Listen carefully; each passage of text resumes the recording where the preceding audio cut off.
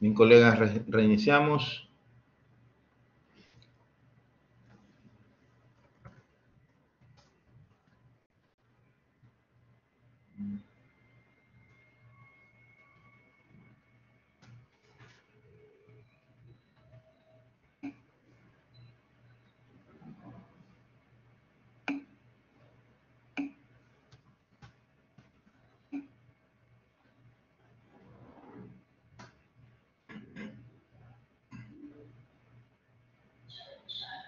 Bien, entonces decíamos que la, motivación de las resoluciones judiciales consiste en la, en la construcción de un razonamiento suficiente para que los hechos que el juez asimile pueda sacar la última conclusión contenida en la parte resolutiva. Entonces, miren cuando decimos, para los hechos, para que de los hechos que el juez asimile, para que de los hechos que el juez asimile, ¿cuáles son esos hechos? Los hechos que le proponen las partes nosotros tenemos una tesis, tenemos una antítesis, que es la contraposición de la tesis, y el juez llega a una conclusión, es decir, que el juez llega a una decisión. Por lo tanto, como yo les decía, la información que, el juez, que las partes deben de brindar es información de calidad, ¿no? Para que el juez saque la conclusión contenida eh, en la parte dispositiva. La motivación también es un elemento intelectual de contenido crítico, valorativo y lógico que consiste en el conjunto de razonamientos de hecho y de derecho en los que el jugador comenta su decisión. Es decir, el juez va a hacer un análisis de la parte fáctica. Cuando hablamos de la parte fáctica nos referimos a los sucesos que acaecieron, en tanto que en la parte de derecho obviamente va a indicar eh, la base jurídica en las cuales va a sustentar su decisión en relación a esa, a esa información de hecho.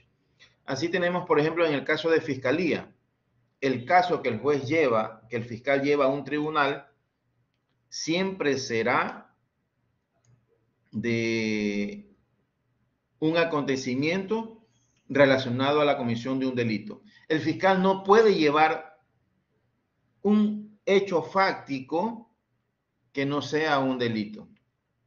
En tanto que la defensa tiene una arista, tiene mayor cantidad de alternativas. La defensa puede proponer, y eso también sucede en temas civil inclusive, puede proponer una defensa negativa o puede proponer una defensa positiva. Y esto lo vamos a analizar más profundamente cuando estudiemos el tema de la teoría del caso.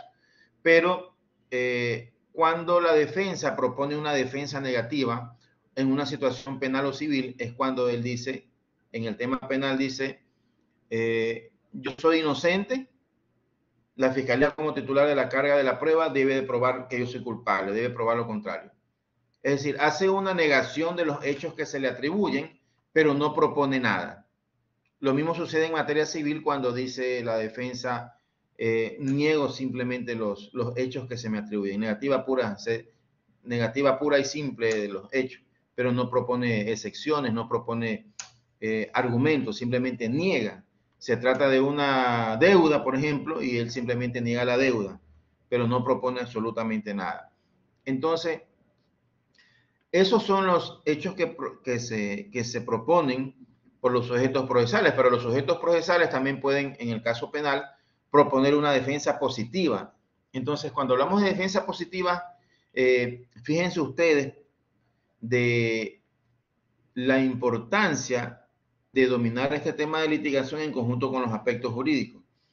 Defensa positiva como teoría del caso en materia penal. Si yo no manejo teoría del delito, no voy a poder proponer una correcta teoría del caso.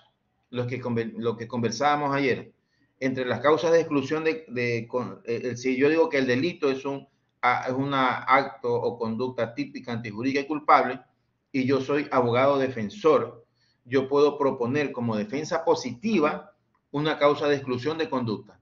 Es decir, puedo proponer un tema de movimientos reflejo, de fuerza física irresistible, de estado de plena inconsciencia.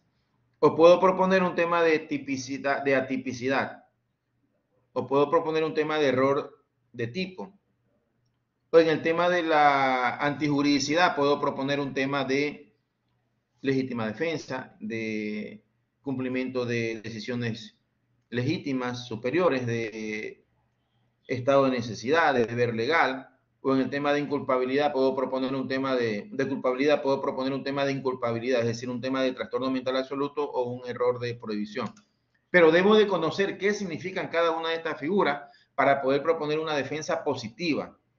¿Cuál es la diferencia entre una defensa negativa y positiva? Que en la defensa negativa me limito a negar los hechos y debo simplemente de defenderme de la arremetida que me hace mi contraparte, sea en materia penal o en materia civil, en tanto que en, en, defensa positiva yo hago una propuesta fáctica, yo hago una propuesta de hecho, cuento una historia. Cuando yo hago una propuesta de derecho o fáctica, por ejemplo, propongo una legítima defensa, en ese caso yo sí debo de probar la legítima defensa. Cuando hago una afirmación de hecho, aunque yo esté revestido del estado de inocencia, yo debo de probar esa situación de hecho. Lo propio en materia civil. Él dice que ha pagado la deuda, pues deberá de probar dentro del proceso que ha pagado la deuda, ¿no? ¿Por qué? Porque justamente cuando nos dice el tema eh, de los hechos que el juez asimile, ¿de quién? De los sujetos procesales, va a realizar un razonamiento que lo conlleva a esa motivación. Nosotros como sujetos procesales hacemos los argumentos a través de los razonamientos, en tanto que el juez al momento de tomar sus decisiones aplica la motivación también a través de su razonamiento. Es decir, de las premisas que proponen los sujetos procesales, el juez va a llegar a una conclusión. Pero ¿cuál es la finalidad de la motivación? ¿Cuál es el propósito que permite a las partes procesales que conozcan la razón de la decisión, así como que exista un adecuado control de las resoluciones judiciales a través de los respectivos recursos, de forma que un órgano superior pueda controlar la correcta aplicación del derecho del inferior. Entonces, fíjense que la motivación va a ser eh, del juez va a ser la materia angular a partir de la cual nosotros propondremos nuestros recursos. Como el juez nos está razonando y nos está explicando cuáles son los fundamentos de su decisión, nosotros como abogados, ¿qué vamos a establecer? Si esos, si esos eh, razonamientos del juez, si esa motivación del juez corresponde o no a una realidad procesal, si el fallo del juez está siendo injusto, si el fallo del juez tiene indebida aplicación de normas, incorrecta aplicación de normas, falta de aplicación de normas, existe una falta de motivación o de fundamentación propiamente dicha. Es decir, vamos a encontrar una arista de razones con las que nosotros como litigantes estaremos de acuerdo o no estaremos de acuerdo, para según aquello plantear nuestros respectivos recursos. En el tema que les proponía hace un momento, de pronto el juez proponía un tema de, de aplicación de una circunstancia agravante como lo era el ensañamiento. De pronto eh, no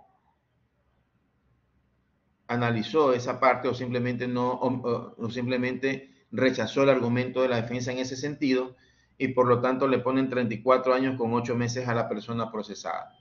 Entonces, hay casos que definitivamente no se los puede ganar a través de un estado de inocencia, ¿no? Pero la defensa busca alternativas, busca alternativas. Y de pronto, si esas alternativas no funcionan ante el juez, tenemos opción de los recursos. Por lo tanto, de pronto una sala, un juez superior, va a establecer que efectivamente sí se puede aplicar una figura que de pronto no fue eh, estipulada por el juez inferior. Doctora Ortega. Doctor, eh, disculpe, tengo una pregunta. En materia penal, justamente lo que usted hablaba de la defensa positiva o negativa. Cuando la persona procesada, ¿no verdad? Eh, eh, digamos, afirma ser inocente, es decir, que no ha cometido los hechos que se le imputan como delito, ¿no verdad? la defensa de esa persona se va a circunscribir a hacer una defensa negativa. Sí. Sí, ¿no verdad? Es decir, que solo va a tener que, este, respecto de las pruebas que presente la parte que lo acusa, en este caso fiscalía, va a tener que desmentir esos hechos. Así es, ¿no? Correcto. Ah, ok. Esa era la, pregunta. Muchas gracias. Ya, muy bien. A ver, para adelantarnos un poquito y para reforzar eh, mi, intervención sobre ese tema, doctora, que usted está pidiendo eh, una aclaración. Correcto. A ver, cuando nosotros vamos, estos son temas que normalmente se utilizan en, en materia penal.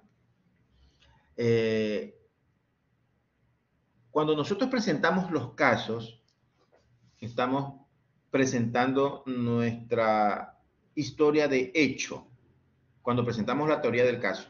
La teoría del caso no es otra cosa que la presentación del hecho, del acontecimiento que sucedió en un determinado momento histórico.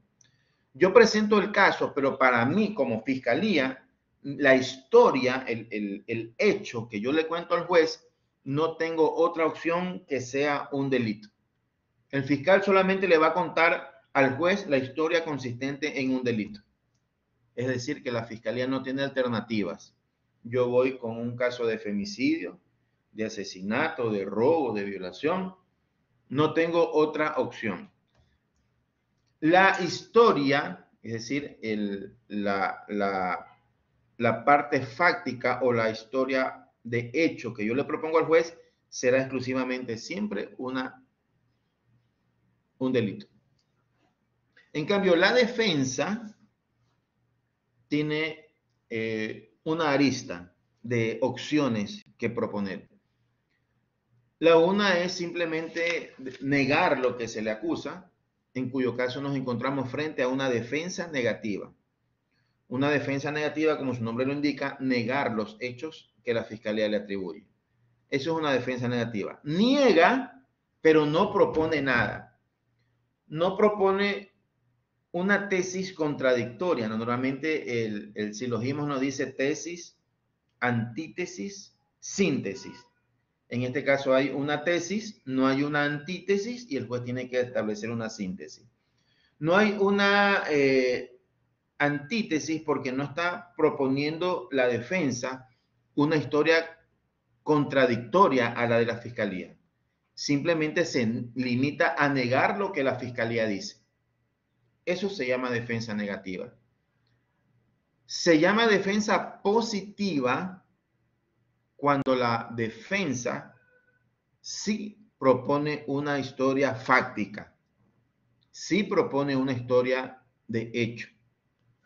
Por ejemplo, el asesinato fue en Guayaquil y la defensa dice, mi defendido no participó en ese asesinato porque a la hora del crimen él se encontraba en el Guasmo Central de Guayaquil. O dice, si bien es cierto que mi defendido privó de la vida a la víctima, pero sin embargo lo hizo en legítima defensa. Si bien es cierto que mi defendido intentó matar a la víctima, pero lo hizo en un estado de trastorno mental absoluto. Si bien es cierto que mi defendido accedió sexualmente a la chica de 13 años, sin embargo no nos encontramos en un caso de violación, sino un caso de estupro, porque la cópula sexual fue consentida. O no siendo consentida, de pronto no alega un caso de estupro, sino un error de tipo al indicar que no sabía que la víctima tenía 13 años porque le había hecho creer que tenía 16 años y hubo consentimiento en el acto sexual. Entonces, propone una situación fáctica en cuyo caso, más allá de que esté protegido con una coraza llamado Estado Constitucional de Inocencia, sin embargo debe de probarlo. Es decir, cuando propone una defensa negativa, no debe de probar nada, porque él es inocente. Es la fiscalía la que debe probar lo contrario. Entonces la labor eh, del defensor será simplemente defenderse a toda costa de las arremetidas incriminatorias y probatorias que la Fiscalía le realiza. en tanto que cuando propone una situación fáctica, es decir, propone una historia contrapuesta a la de la fiscalía, en ese caso sí debe probar lo que está proponiendo, más allá de que continúe también protegido con una coraza llamada Estado Constitucional de Inocencia. ¿no? Esa es la diferencia de lo que en técnicas de litigación oral se conoce con el nombre de defensa positiva o defensa negativa, que consecuentemente solamente entraña a la defensa. Comparando esa situación del sistema penal con el sistema civil, entonces vemos que en la práctica también se producen defensas negativas y defensas positivas en el ámbito civil. Entonces también les proponía el ejemplo. Cuando en el ámbito civil simplemente dice, niego los hechos que se me atribuyen en la demanda, niego la deuda, niego cualquier situación. Entonces, la defensa no tiene que probar nada porque simplemente está negando. Pero cuando produce, cuando se contrapone con una situación de hecho, por ejemplo, a través de una excepción, entonces en ese momento deberá de probar la excepción que está proponiendo, ¿no? Es decir, las, es decir, las cuestiones fácticas que se proponen como existentes deben de ser probadas por parte de quien las alega tanto en el ámbito civil como en el ámbito penal. Deben de ser probadas por parte de quienes alega. Esa información fáctica que yo siempre les digo debe ser de calidad porque el juez no puede resolver en base a cualquier información que le brinden las partes, sino en base a información de calidad que, le, que les proporcionen. En base a eso el juez va a resolver a través de una debida motivación. Sobre eh, este tema de cómo nosotros debemos estructurar nuestra, nuestra realidad fáctica, así como se estructura una situación jurídica, la situación fáctica también tiene una estructura. ¿no? En, la, teoría del caso se conoce con el nombre de, proposiciones fácticas, después la vamos a hacer un tema bastante interesante que me apasiona. Vamos a ver cómo se, se estructura la teoría del caso en base a proposiciones fácticas y a la vez cómo la teoría y cómo a la vez el alegato de apertura se estructura entre varios elementos, entre ellos el, la teoría del caso. Por eso es que teoría del caso y alegato de apertura, que la gente, los colegas la tienen como sinónimos, en realidad no son sinónimos, son dos figuras diferentes. En otra palabra, una persona puede siempre presentar eh, una teoría del caso, pero no siempre va a presentar un alegato de apertura. Cuando presenta una teoría del caso, no necesariamente va a presentar un alegato de apertura, pero cuando presenta un alegato de apertura, siempre tendrá que presentar una teoría. ¿Por qué? Porque la teoría del caso está dentro del alegato de apertura.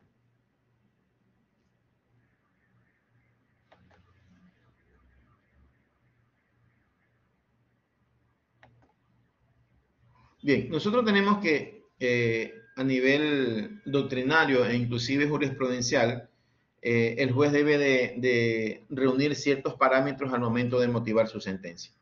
Doctora Ortega.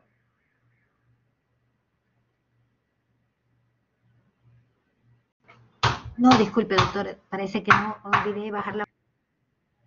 Bien, gracias. Entonces nosotros debemos eh, conocer que al momento de que el juez motiva su sentencia, tiene eh, el deber de cumplir ciertos parámetros con los cuales eh, esa motivación debe hacerse exigible, ¿no? Cuando nosotros presentamos nuestros hechos fácticos, tenemos niveles de exigencia que cumplir para que esa historia fáctica sea técnicamente correcta. Cuando nosotros argumentamos y presentamos nuestros alegatos finales, debemos de reunir ciertos eh, aspectos o cumplir con una estructura o con un andamiaje para la formación de ese argumento para que éste sea correcto, sea técnicamente correcto. Es decir, que no solamente las exigencias eh, se las vamos a endosar al juez para que sea él quien motive como corresponde hacerlo, sino que nosotros al momento de presentar nuestros casos también tenemos unas eh, técnicas que cumplir para que la presentación de nuestro caso sea correcto. Cuando nosotros dominamos esas técnicas, eh, vamos a percatarnos que, que no es lo mismo hacer camino al andar que dotarse las defensas técnicas realmente. Si bien es cierto que la práctica es importante, ¿no? No es lo mismo eh, tener habilidad para pintar y coger un cuadro y pintarlo que haber concurrido a una escuela de arte donde nos van a enseñar a través de técnica.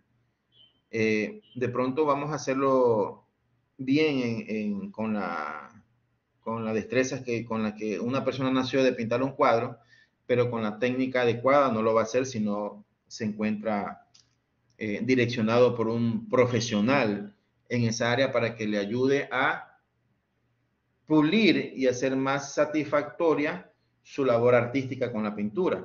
Lo mismo ocurre con el tema del de, eh, ámbito jurídico. Vemos que muchos colegas van a, las, a las audiencias porque han visto simplemente cómo otros abogados lo hacen, pero nunca estudiaron desde el punto de vista técnico cómo deben estructurar esas, esas proposiciones, esos argumentos tanto fácticos como jurídicos. Entonces, cuando estamos nosotros eh, alimentados, tenemos esa alimentación de que hemos expuesto o, hacemos nuestros argumentos, no solamente porque lo aprendimos viendo a otro, sino que lo aprendimos a través de la técnica. Entonces vamos a ver cómo es un cambio radical en nuestros argumentos, ¿no? Entonces, eh, lo mismo sucede con el tema de los jueces. Muchos jueces simplemente toman como modelo otra sentencia para hacer una sentencia que ahora a ellos les toca, ¿no? Pero tienen una idea, una noción, puede salir bien, pero no es lo estrictamente correcto. ¿Por qué? Porque las motivaciones tienen exigencias, tienen parámetros que deben cumplirse para que ese, ese fallo que está eh, realizando sea realmente técnico y jurídico. Y esas exigencias que coincide tanto la, doctrina constitucional como la doctrina legal, está eh, establecido sobre estos seis puntos que estamos observando en pantalla. Es decir, que la motivación debe ser expresa, completa, debe ser clara, debe ser lógica, debe tener una comprensión efectiva y debe de sustentarse en el respeto a las máximas de la experiencia. Entonces, miren, debe de ser expresa, completa, clara, lógica, comprensión efectiva y respeto a la máxima de la experiencia.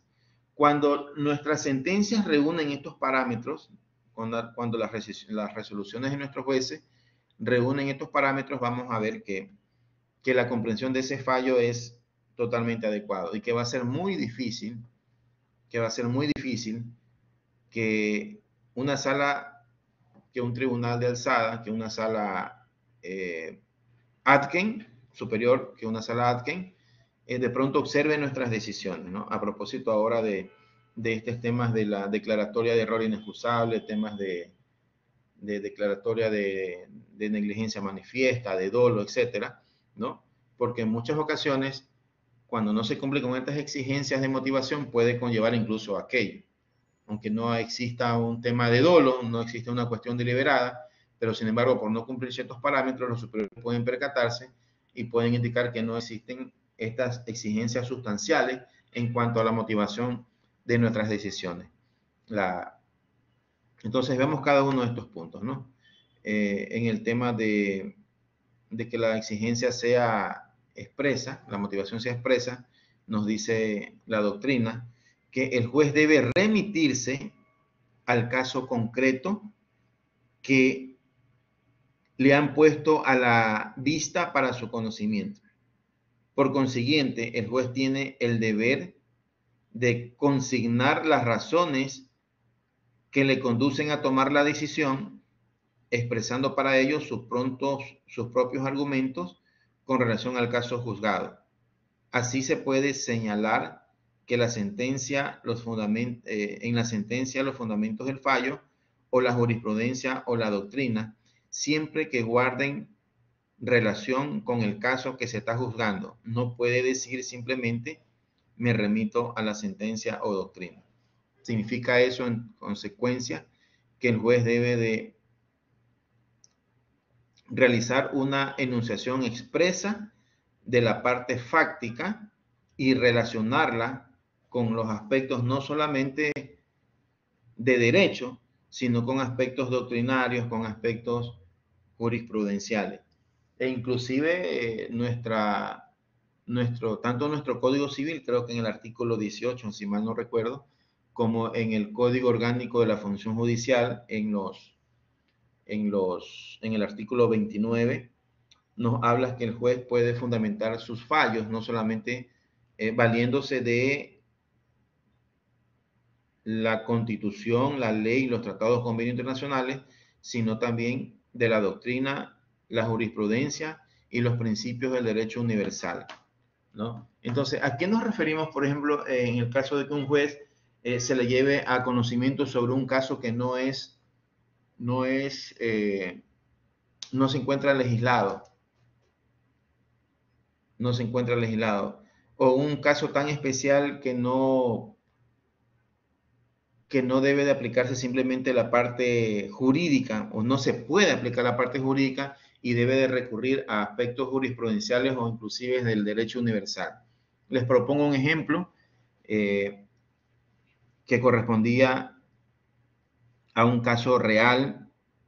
No era una, no era una jurisprudencia española, era un caso análogo, digamos, donde es un caso que parece fantasioso, pero que ocurrió en España en el año de 1960. Resulta que eran unos siamés. ¿Cuáles son los siamés? ¿Cuáles son los siamés? Las personas siamés, ¿cómo son?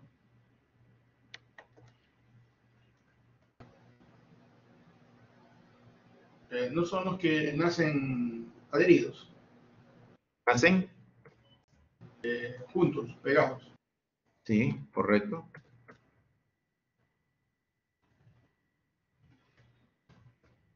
Sí, nacen juntos, ¿no? Esa, esa fusión corporal que tienen este tipo de personas, no, no conozco los, las razones biológicas, no me voy a meter en eso, no sé por qué nacen así, pero en todo caso nacen unidas eh, por la cabeza, puede ser por la cabeza, pueden, eh, creo que aquí hay unos niños que están estudiando derecho, que viven en milagros, siempre salen en la prensa. Eh, hay otros que nacen eh, unidas por el pecho y otros que nacen unidas por la cadera. Por la región pélvica, sí, por la región pélvica. Por la cadera igual, gracias. Bien, entonces, ¿qué resulta que, supongamos por utilizar términos comunes, el, el un siamés es bueno y el otro siamés es malo. Entonces, sin que el siamés bueno sepa lo que va a hacer su hermano, el siamés malo toma un cuchillo y de pronto mata a una persona. ¿Ah? El siamés malo mata a una persona, es decir, tenemos a un inocente y a un culpable tenemos que jugar a un, a un culpable, mejor dicho, pero ese culpable está naturalmente fusionado a un inocente porque son siamés. Y este caso que parece una historia, como le digo, extraordinaria, fue un caso que realmente ocurrió en, en, la, en el sistema jurídico de España en el año de 1960. El caso de asesinato le llega al juez y el juez le entra un conflicto. Si lo dejo libre al, al siamés asesino, al siamés culpable, perdón, si lo dejo, eh, sí, si lo dejo preso al siamés culpable, voy a dejar preso al siamés inocente. Pero si dejo libre al inocente, también voy a dejar libre al siamés culpable. Entonces se produce una, una situación que, que no se encuentra en la ley.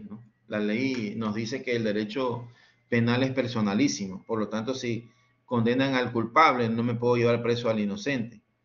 Pero también dice que no podemos fomentar la impunidad. Y por lo tanto, si dejo libre al inocente, al siamés inocente, también voy a dejar libre al siamés culpable. Entonces, ¿qué se hace allí? ¿Qué se hace allí? Eso, eh, supongamos que suceda en Ecuador. Supongamos que sucede eso en Ecuador, ¿no? Eh, ¿Tenemos un caso anteriormente en Ecuador que haya sucedido aquello? No lo tenemos. ¿Tenemos una cuestión jurídica que establezca aquello? No lo tenemos. ¿Tenemos un caso análogo que haya ocurrido anteriormente? No lo tenemos. No conozco de una jurisprudencia ecuatoriana que regule aquello. Tampoco no tengo una jurisprudencia extranjera que regule aquello. No he leído tampoco sobre cuál sería el aporte o el criterio de la doctrina al respecto. No tenemos nada. No tenemos nada. Entonces, si el juez tiene un caso de eso, ¿cómo lo va a motivar? O sea, o, qué es lo que va a decidir. Si de pronto, eh, imagínense que ocurriera eso en un turno de fiscalía, ¿no? Por, poner un ejemplo extraordinario que ocurre, que, que sucede en nuestra realidad. Van con ese caso en este momento a fiscalía. ¿Qué hacemos como fiscalía? ¿no? Entonces ahí debemos simplemente aplicar estas normas eh, que están, eh, si no me equivoco, eh, vamos a ver si retrocedo un poquito. Aquí está el Código Civil.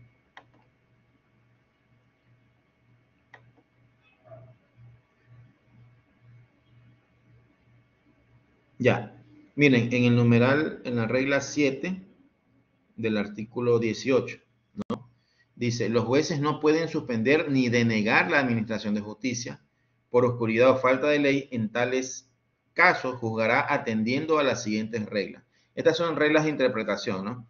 Dice, séptima, a falta de la ley se aplicarán las que existan sobre casos análogos. ¿No? Sobre este tema no tenemos legislado, no tenemos casos análogos y no habiéndolas se ocurrirá a los principios del derecho universal, ¿no? Entonces, miren, podemos recurrir a, un caso de pronto que ocurrió en el año 60 en la doctrina, en el sistema judicial español, para aplicar al caso de nuestro siamés la decisión que tomó eh, el sistema eh, jurídico de España, de donde nace la máxima que nosotros la aplicamos hasta nuestros días, cuando decimos es preferible dejar a un culpable en las calles que a un inocente en la cárcel. Es preferible dejar a un culpable en la calle que a un inocente en la cárcel. Entonces, miren cómo, como cuando yo les hablaba también al día de ayer para temas de interpretación, ¿no? muchas veces debemos de conocer cuál es el fundamento histórico de muchas veces de una norma para poder llegar a su cabal comprensión, ¿no? Entonces, miren que de pronto si algún día eh, ocurre un caso, el legislador decide tomar un caso análogo y, llevarlo a norma, ¿cómo podría existir aquí en este caso español del año 1960 un antecedente histórico para aquello, ¿no? Y efectivamente el órgano judicial español decidió dejar libre al siamés culpable para no llevar al inocente a la cárcel, ¿no? Bien. Entonces, las exigencias de nuestra motivación, como les decía, están dadas por que sean expresa, completa, clara, comprensión efectiva y respeto a las máximas de la experiencia, ¿no? Y explicábamos la motivación expresa y que la misma también debe de ser clara. Dice, el pensamiento del juez, recordemos que el, el, pensamiento es un acto interno, ¿no? Un acto reflexivo que se encuentra en la mente del juez y que la va a expresar, así como los abogados eh, expresan sus razonamientos a través de un eh, argumento, entonces los jueces eh, expondrán sus razonamientos a través de una motivación. Pero esta motivación, al igual que los litigantes o abogados deben tener argumentos claros, las motivaciones del juez evidentemente también deben de ser claras, ¿no? El pensamiento del juez debe ser aprehensible, aprehensible, o sea, aprehender con H intermedia, comprensible y examinable y no dejar lugar a dudas sobre las ideas que expresa. Se dice que los jueces deben expresarse en lenguaje claro, llano que permita la comprensión de su pensamiento y pueda ser entendido por quienes leen las resoluciones. Por eso es que, especialmente en la parte de eh, la decisión, el juez debe de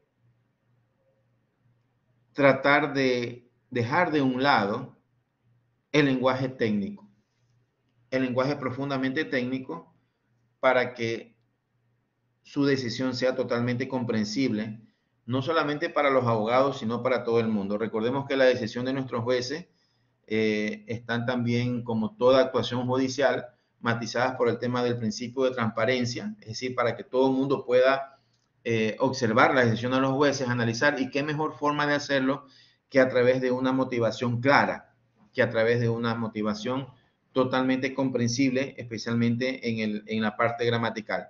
Fíjense que cuando nosotros los, litigantes presentamos nuestros casos, también debemos de hacerlo de una forma totalmente comprensible. Por ejemplo, cuando yo les hablaba hace un momento de la parte fáctica, en la parte fáctica, es decir, la parte de hecho, de los hechos que sucedieron, debe de, debemos de despojarnos del lenguaje técnico. La parte del hecho, la parte fáctica, nuestra información fáctica que proporcionamos al juez debe ser en un lenguaje sencillo. Lo mismo los jueces en sus motivaciones. Porque, por ejemplo, cuando presentamos nuestros casos, yo le digo a los, a los interlocutores en nuestro mensaje, la víctima murió como consecuencia de un shock hipovolémico. La víctima murió como consecuencia de un shock hipovolémico. Imaginémonos en un sistema de juicios por jurados en Estados Unidos, 12 personas que no son médicos, que no tienen una formación jurídica, pueden ser cualquier persona honorable, un comerciante, un, un, este, un ingeniero, un arquitecto, cualquier persona puede ser parte del jurado. Entonces, si nosotros hablamos un, en un tema, en un lenguaje técnico, posiblemente no nos comprendan cabalmente. Y nosotros a través de la presentación de nuestros casos empezamos haciendo un ejercicio de persuasión. ¿Y cómo vamos a persuadir si empleamos un lenguaje técnico? Como cuando nosotros tenemos un enfermo y vamos donde los médicos y nos explican el lenguaje de ellos y no les entendemos qué es lo que tiene o para qué sirve la medicina. No nos hablan de una forma clara, nos hablan como que si también fuéramos médicos. Los abogados también tenemos nuestro lenguaje jurídico, pero cuando presentamos los casos lo hacemos en una forma clara. Los jueces en la motivación lo, debemos hacer, lo deben hacer de una forma clara. Si yo le decía al, jurado que la víctima no murió como consecuencia de un shock hipovolémica, hipovolémico, pronto me van a, pocos o nadie a lo mejor me va a comprender. Pero si yo le hago, si yo le digo, la víctima murió como consecuencia de una hemorragia, en ese momento todo el mundo me va a entender porque todo el mundo sabemos a qué se refiere una hemorragia como aquella pérdida excesiva de sangre, ¿no? Entonces murió por una hemorragia a consecuencia de los disparos. Pero todo el mundo me entiende si yo digo que murió de una hemorragia. Lo mismo sucede con los jueces. Claro está que los jueces van a reservar en un capítulo para la parte jurídica, pero ya la parte de la motivación de la sentencia en cuanto a la decisión especialmente debe ser de un lenguaje totalmente comprensible para todo el mundo, ¿no? Entonces debe de eh, a veces por nosotros ser demasiados elegantes o tratar de ser demasiados elegantes, utilizamos una terminología bastante compleja que de pronto, eh, desde el punto de vista eh, técnico, científico, está correcto, no, no hay er-, errores, pero que no nos va a permitir una, una mayor comprensión al destinatario de nuestro mensaje, es decir, a quien va a leer la sentencia, porque por lo menos en la parte de la fundamentación debemos hacerlo de una forma eh, totalmente clara. De pronto los aspectos técnicos, dejémoslos en el análisis de la prueba, los aspectos eh, jurídicos, dejémoslos en nuestra fundamentación jurídica, pero ya en cuanto a la motivación de la decisión especialmente, debe ser en un lenguaje totalmente claro, ¿no? La comprensión efectiva consecuencia de la claridad de nuestro mensaje, ¿no? Con la finalidad de acercar la comprensión efectiva de sus resoluciones a la ciudadanía, el juez deberá redactar sus sentencias en forma clara, concreta, inteligible, asequible y sintética, incluyendo las cuestiones de hecho y de derecho planteadas y el razonamiento seguido para tomar la decisión que adopte. Consecuentemente, durante toda su sentencia, la comprensión debe ser efectiva, tanto en la parte fáctica, en la parte jurídica, como en la, en la parte de la decisión. Y la motivación completa, que debe abarcar los hechos y el derecho respecto de los hechos, debe contener las razones que deben a una conclusión afirmativa o negativa sobre la existencia de los episodios de la vida real con influencia de la solución de la causa, ¿no? ¿Por qué? Porque muchas veces la motivación resulta incompleta cuando no se hace una explicación de la pertinencia de la invocación del fundamento de derecho con relación a la parte fáctica, lo que hablábamos hace un momento. No hay una explicación, sino que simplemente el juez hace una narración de los hechos propuestos por las partes, hace una enunciación de normas jurídicas y piense que con esa simple enunciación está motivando cuando en realidad no lo está haciendo. Y finalmente decide, pero no hace una explicación de por qué razón aplica tales normas. O sea, el tema de la motivación es que debe de aplicar, debe hacer una explicación de las normas que está invocando en ese momento, ¿no? La motivación lógica y las, máximas de la experiencia, ¿no? El juez debe de observar en la sentencia las reglas del recto entendimiento humano que presiden la elaboración racional del pensamiento. Por lo tanto, el juez debe ajustarse a sus principios, pues de apartarse de ellos, las palabras no alcanzarán a ser comprendidas y el fallo será anulado. ¿no? La motivación lógica como consecuencia también de ese lenguaje comprensible que se deben aplicar a la sentencia y obviamente las máximas de la experiencia no constituyen una categoría jurídica propiamente dicha, pero son producto de vivencias personales, directas o transmitidas, cuyo acontecer o conocimiento se infiere por sentido común. ¿no?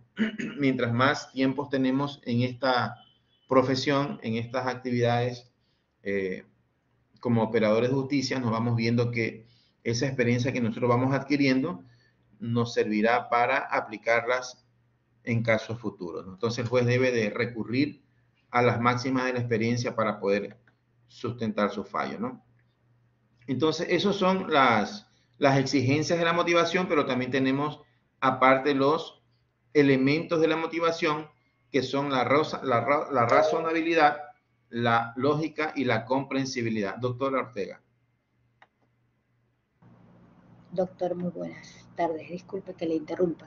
Eh, respecto de los elementos de la motivación, esos elementos eh, ya están en desuso de acuerdo a las nuevas eh, normas de la Corte Constitucional, porque esos eran los elementos que utilizaba la Corte anterior al, la Corte que llamamos, ¿cómo es? No era la Corte de Transición, sino la anterior a esta última de aquí, la de, la de Correa, digámoslo así, no, no, tengo otro, otro, otro término para explicarla. ¿Qué pasa? Que los actuales eh, magistrados de la Corte Constitucional, eh, como una especie de, personalmente considero así como una especie o una forma de digamos, de dejar a un lado, sería ese, los criterios, porque todos los criterios de la anterior corte eran que los fallos, ellos cuando llegaba una, una sentencia, ¿verdad?, a su conocimiento, eh, hacían el análisis de la razonabilidad, la lógica y la comprensibilidad. Ese era el formato, por decirlo así. Pero una vez que se instauró esta nueva corte, dejó de lado todos esos pronunciamientos y, eh, y ellos tienen una nueva forma de eh, análisis de la motivación en los casos que llegan a su conocimiento y ya no hacen de ninguna manera los, eh, el análisis desde el punto de vista de razonabilidad, lógica y comprensibilidad. Esos quedaron en desuso y ahora ellos utilizan la forma positiva de la eh, norma establecida en la Constitución respecto de las resoluciones de cómo deben ser motivadas. Es decir, el fundamento que ellos utilizan ya no es el análisis de la razonabilidad, lógica y comprensibilidad, sino del artículo de la Constitución que establece los parámetros de la motivación. Ellos la utilizan en sentido positivo. O sea, es una nueva forma de análisis de la motivación en las resoluciones judiciales. Si usted ve los actuales pronunciamientos de la Corte Constitucional cuando hacen el análisis de, acusaciones por falta de motivación, ya no verá en ninguna parte los formatos o los modelos que tenía la Corte anterior respecto al análisis de estos tres puntos. Eh, eso para una actualización, digamos, de los pronunciamientos que hay en la Corte Constitucional actual. La verdad es que yo le cuento que hasta hace, creo que unos cuantos meses había estado utilizando los mismos parámetros, ¿verdad? Y de pronto, un momento determinado, un compañero me dice, pero Glenda, ya esos parámetros no están vigentes. Y yo me quedé así, porque usted sabe que la Corte Constitucional actual está, hace pronunciamientos a diario, sí, súper dinámico. Entonces, a veces no tenemos la oportunidad de estar, eh, digamos, al tanto de, de todos, ¿no? Entonces él me dice, no, esos ya no se están utilizando. Mira, esta es la nueva, la nueva forma y me dio una, la última, digamos, la que inició, por decirlo así, el nuevo pronunciamiento y desde ahí ya he ido siguiendo pues eh, el análisis que ellos hacen respecto a motivación. Por eso se lo pongo a su conocimiento.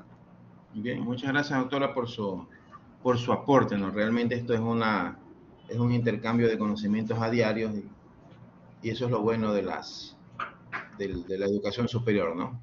Que aprendemos de lado y lado. Bien, Muchas gracias. Entonces vemos el tema de la naturaleza constitucional de la motivación, cuando hablamos de que eh, se integra tanto de la tutela judicial efectiva como garantía básica del debido proceso, ¿no? Porque definitivamente el tema de la motivación tiene relación con el debido proceso, a tal extremo que una falta de motivación puede desencadenar en un tema de nulidad, ¿no? Y tiene relación con el tema de la tutela judicial efectiva. Por eso es que nosotros eh, eh, debemos saber cuál es el contenido de la tutela judicial efectiva. ¿no? Entonces, la, los diversos fallos de la Corte coinciden en que el contenido de la tutela judicial efectiva guarda relación con el aspecto jurisdiccional, con el debido proceso y con la ejecución de la sentencia. ¿no?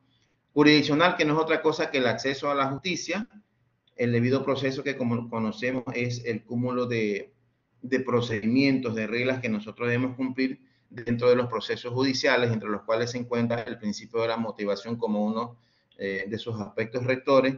Y finalmente el tema de la ejecución de la sentencia, ¿no? Cumplimiento de pena y reparación a la víctima en el caso de sentencia condenatoria y libertad inmediata en el caso de sentencia absolutoria. En este último punto, sin embargo, vemos que el tema de las reparaciones integrales a la víctima, como nos dice este, este parámetro que será uno de los, de, los, de los presupuestos para el cumplimiento de la tutela judicial efectiva como parte de, de el tema de la real concepción de nuestro sistema de justicia, vemos que en realidad no se cumple. O alguno de ustedes, o usted, doctora Ortega, como jueza, ha logrado detectar que, bueno, en el ámbito penal, que exista una reparación integral a la víctima al momento de una, de resolverse un caso. Porque normalmente el problema es que las reparaciones, eh, las reparaciones de la víctima quedan como simples enunciados en la sentencia, quedan como enunciados en las decisiones judiciales, pero realmente las mismas no se materializan. Hace unos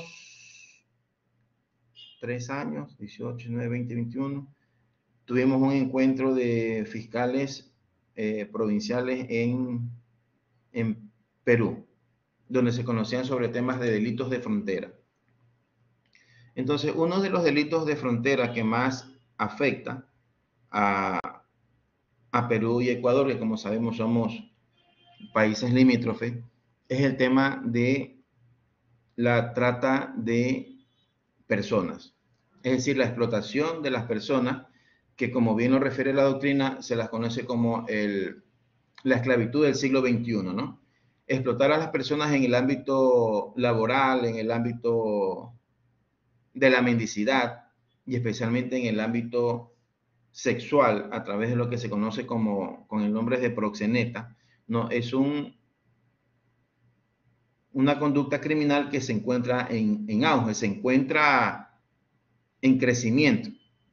Pero sin embargo tenemos como problema principal que estos casos se caen porque precisamente es la víctima la que no brinda la mayor información a las autoridades porque la víctima eh, normalmente se encuentra en un estado de subordinación frente a estas personas. Es decir, por ejemplo, eh, padece lo que se conoce con el nombre de síndrome de Estocolmo. ¿no?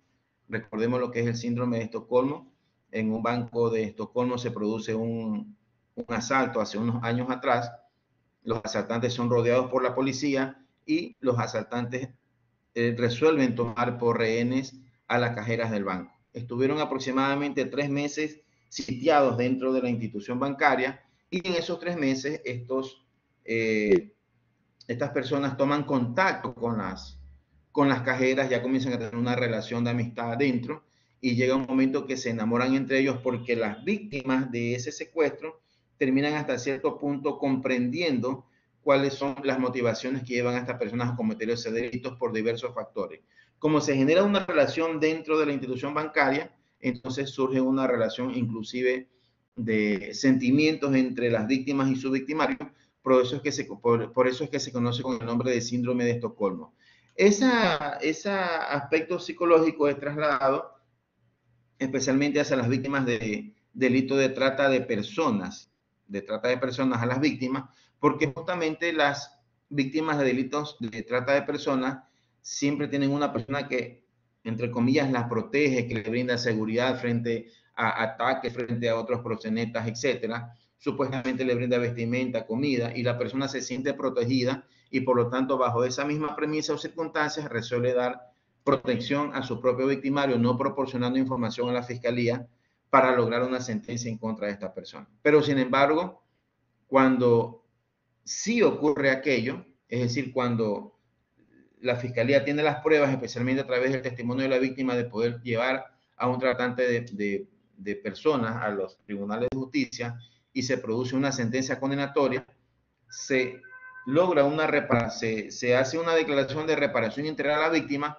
pero la cual lamentablemente nunca es cumplida. Es decir, que bajo ese precepto no habría un cumplimiento de la tutela judicial efectiva si, tomamos en cuenta que entre los parámetros del contenido de la tutela judicial efectiva también se encuentra el cumplimiento de la ejecución de la sentencia.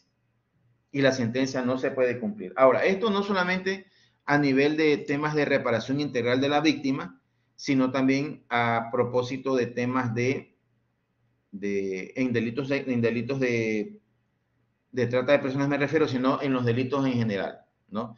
Y que además existe una eh, desproporcionalidad o desproporción en cuanto a la reparación integral a la víctima y en cuanto a las multas que el Estado exige que se imponga a estas personas con, con, con relación a, a las penas pecuniarias que deben cumplir. ¿A qué me refiero?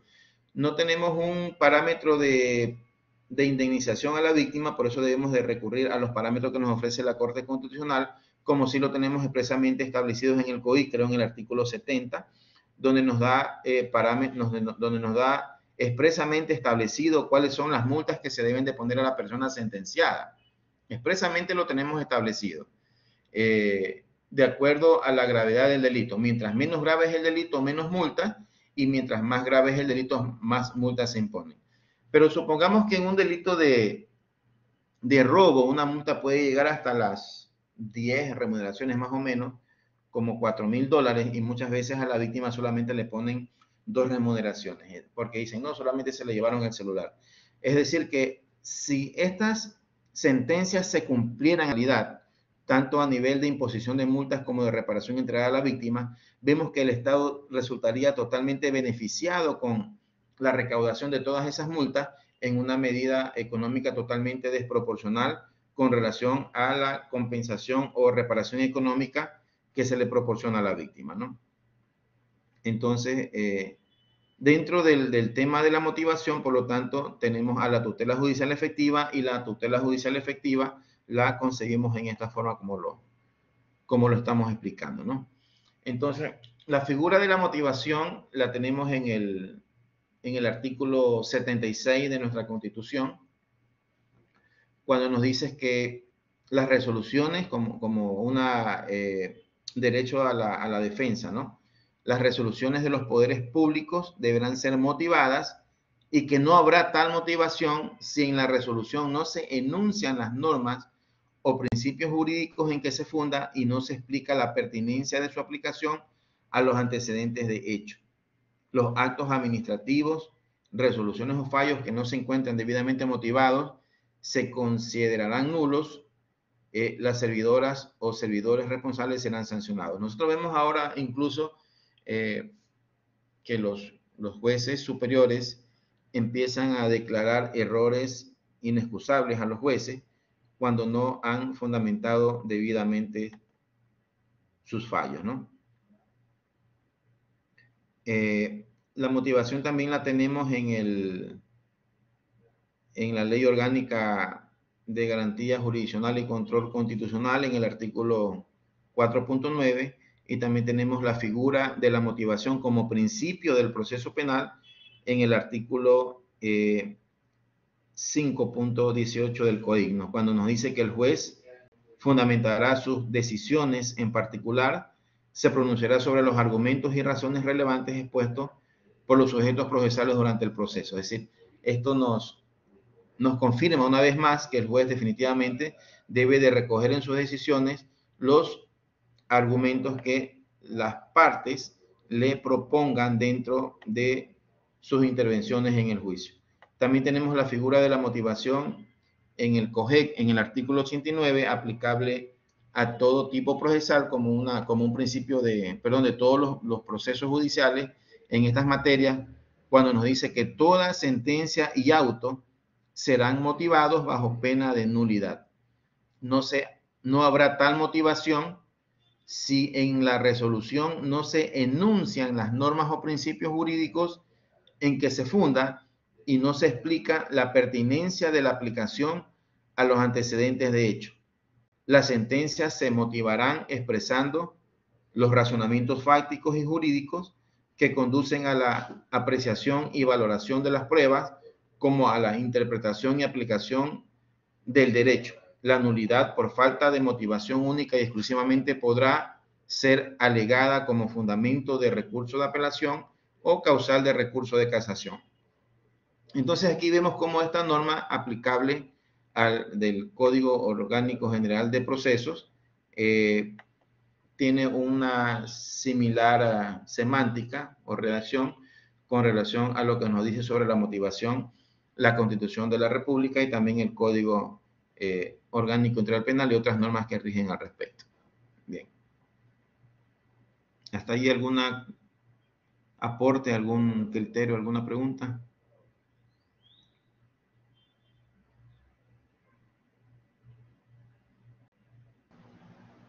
Sí, doctor, bastante interesante la explicación suya, porque al menos en mi, caso he visto sentencias de que se llenan un poco de jurisprudencia y muchas veces no vinculan lo que están diciendo de la jurisprudencia, que se nota clarito que es un copy-pega, y, y, dictan un fallo, fallo en contra, y, se les explica pues, que no tiene sentido lo que está diciendo y toca apelar.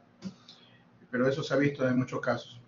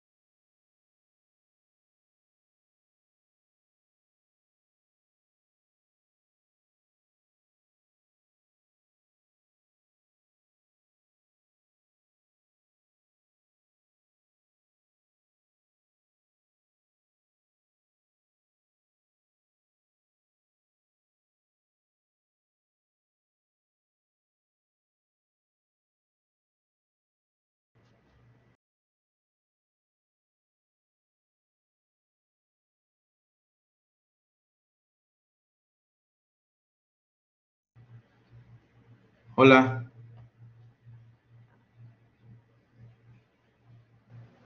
Hola, doctor.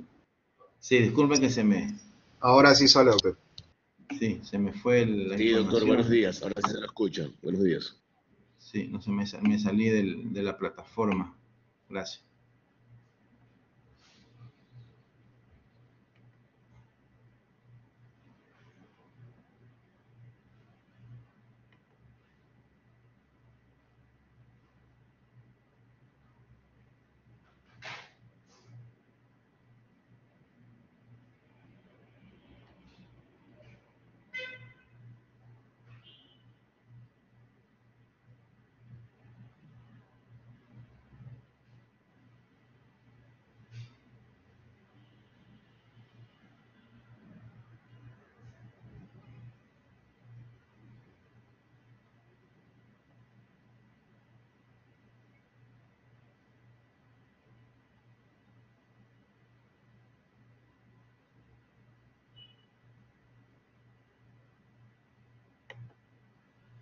Ah, un minuto que estoy buscando.